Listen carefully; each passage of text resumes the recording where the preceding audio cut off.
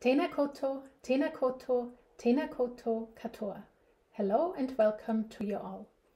I invite you to learn about a digital ethics initiative that centers around the use of portfolios in the next few minutes.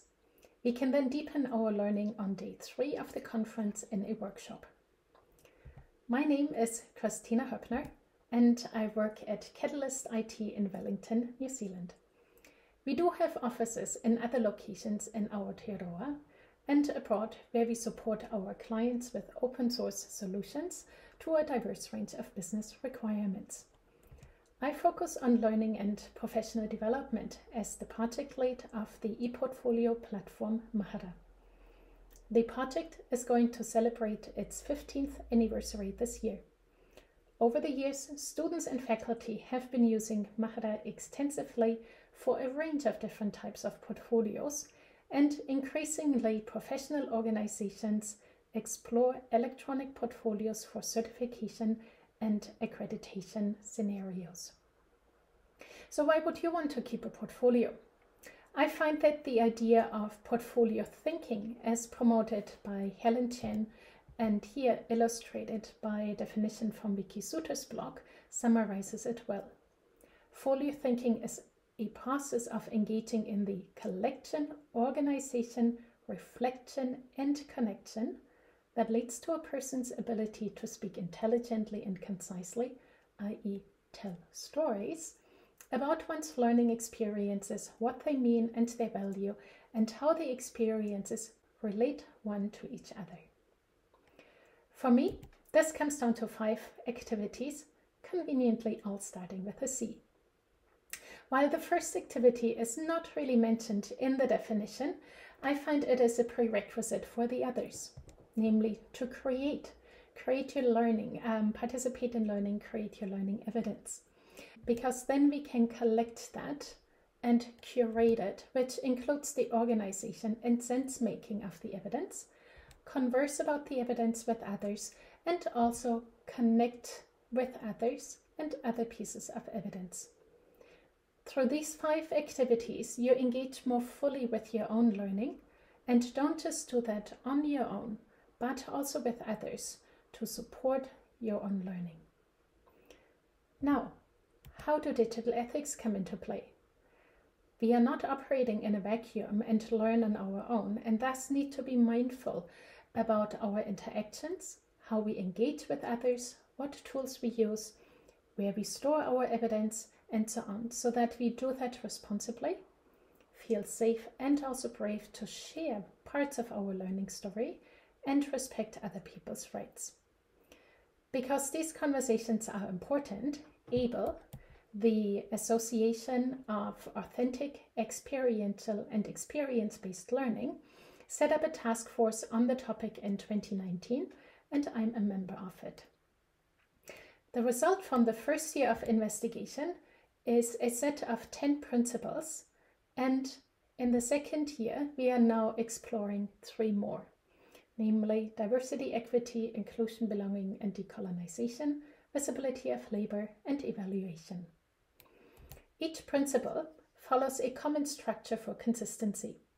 It includes the principle itself, an abstract, several strategies that can be used successfully to adhere to the principle, scenarios that exemplify how you might encounter it, and references.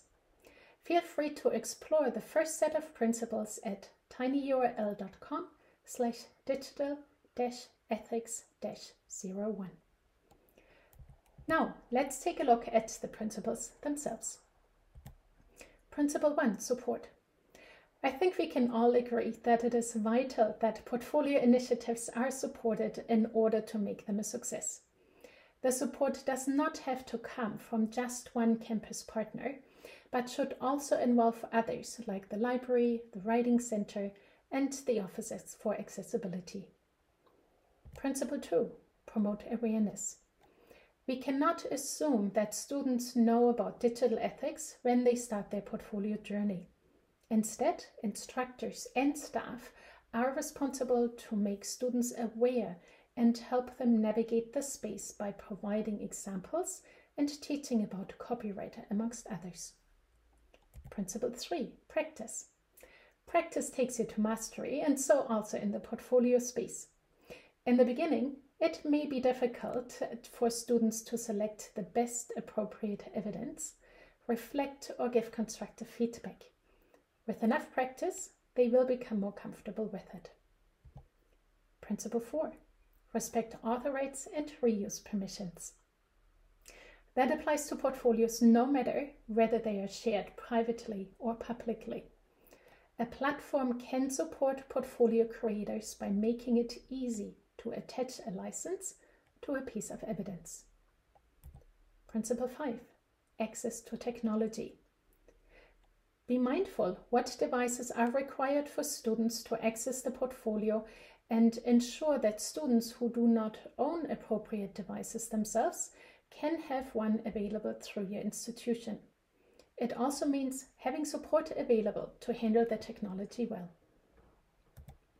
Principle 6 Privacy. Portfolio authors should always have the right to decide with whom they want to share their portfolio. That should be a conscious decision, thus allowing authors to keep their portfolio private per default and then share it either with a select audience or the public as it is appropriate. Principle 7 Content Storage. The principle highlights the right of authors to ask where their data is stored and who has access to it. It touches on the responsibility of authors to know what they are agreeing to when they accept the terms and conditions and privacy statement. Principle 8 Cross platform compatibility. While it should be a given today that portfolio platforms work across devices, this principle does need to be taken into consideration when an institution reviews the implementation of a particular platform to choose one that can be used by everybody. Principle 9 Accessibility. Accessibility is a constantly evolving area. In Aotearoa, for example, one in four people have a permanent disability. That does not take into account everyone with a temporary one, like a broken arm when you cannot use your hand properly.